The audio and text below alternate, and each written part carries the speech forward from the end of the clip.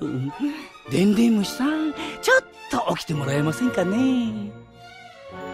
おはようございます。